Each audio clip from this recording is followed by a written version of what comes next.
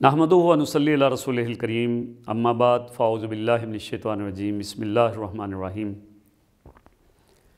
صلاۃ و تسبیح کے بارے میں اللہ کے رسول صلی اللہ علیہ وسلم سے ایک حدیث حضرت عبداللہ بن عباس رضی اللہ تعالیٰ عنہ سے مروی ہے کہ رسول اللہ صلی اللہ علیہ وسلم نے اپنے چچا عباس بن عبد المطلب سے فرمایا، اے عباس رضی اللہ عنہ، اے چچا جان، کیا میں آپ کو ایک عطیہ کروں؟ کیا میں آپ کو ایک بخشش کروں؟ کیا آپ کو ایسی چیز سے باخبر کروں؟ کیا آپ کو ایسی چیز بتاؤں کہ اس کے کر لینے سے اللہ تعالیٰ آپ کے سب گناہ پہلے اور پچھلے، پرانے اور نئے، خطا سے کیے ہوئے اور جان بوجھ کر کیے ہوئے، چھوٹے اور بڑے، اور چھپ کر کیے ہوئے یا ظاہر کرتے ہوئے کیے؟ اللہ تعالیٰ ان کو معاف فرما دے۔ وہ کام یہ ہے کہ چار اکت نماز نماز نفل یعنی صلاۃ و تسبیح اس طرح سے پڑھیں کہ جب الحمدللہ اور سورہ پڑھ چکے ہیں تو کھڑے ہوں۔ رکوع سے پہلے کلمہ سوم پندرہ مرتبہ پڑھیں۔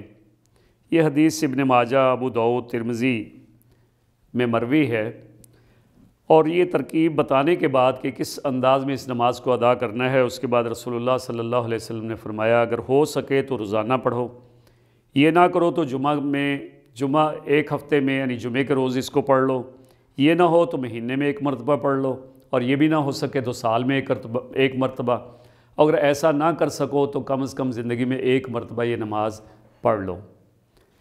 اس نماز کے پڑھنے کا طریقہ یہ ہے کہ نوافل کی دو نوافل کی نیت جو ہے وہ باندھی جائے اور دو دفعہ میں دو دو نوافل کر کے چار نوافل میں تین سو مرتبہ تیسرا کلمہ یعنی سبحان اللہ والحمد للہ ولا الہ الا اللہ واللہ اکبر۔ پڑھا جائے۔ اور آخری مرتبہ ولا حول ولا قوت الا باللہ العلی العظیم بھی پڑھ لی جائے۔ طریقہ ایسے ہوگا کہ پہلے الحمدللہ، سبحانک اللہ، الحمدللہ، اس کے بعد صورت ملانے کے بعد رکوع جانے سے پہلے پندرہ مرتبہ سبحان اللہ والحمدللہ ولا الہ الا اللہ واللہ اکبر پڑھ کر اللہ اکبر رکوع کر کے رکوع میں جائیں گے۔ اور رکوع میں تسبیحات پڑھنے کے بعد دس مرتبہ سبحان اللہ والحمد للہ ولا الہ الا اللہ اللہ اکبر پڑھیں گے۔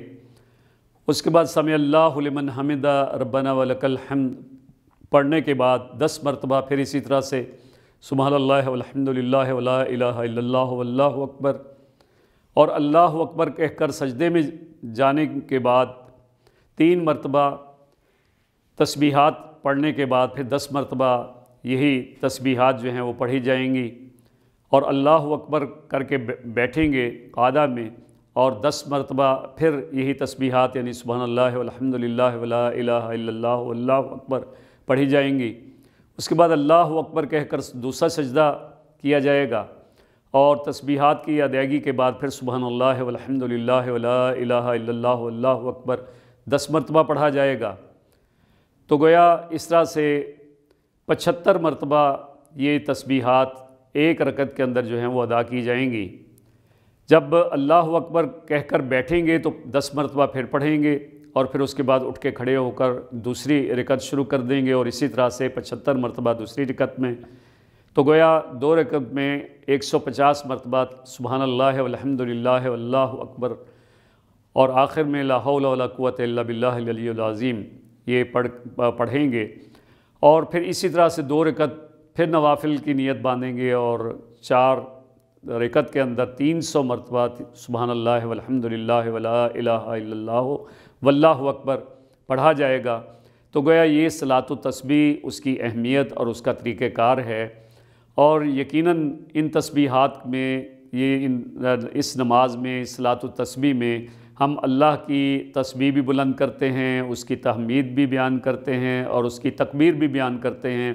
جو اللہ کے ہاں نہایت پسندیدہ ہے، اس لیے کوشش یہ کرنی چاہیے کہ جب بھی موقع ملے، بلکہ موقع نکال کے ہم یہ چار اکت صلاۃ و تسبیح پڑھیں اور اللہ کی خوشنودی کے لیے اور اس کی رضا کے لیے ہم زندگی میں جب جب بھی موقع ملے تو اس کا اہتمام کریں۔ اللہ تعالی ہمیں عمل کی توفیق عطا فرمائے۔